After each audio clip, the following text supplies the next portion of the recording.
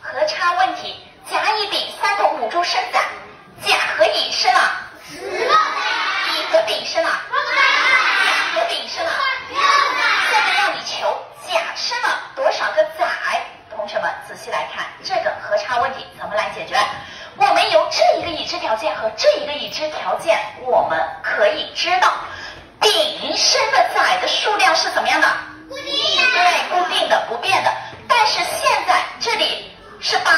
是六个，那么我们就能算出来，实际上这个乙比这个甲多了，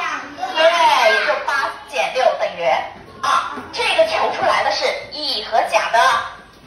差，对，好，差出来了。接下来甲和乙共剩了十个，这相当于就是，对，和出来了，差也出来了。那么我们以前学的那个和差公式用起来，这个甲就相当于是。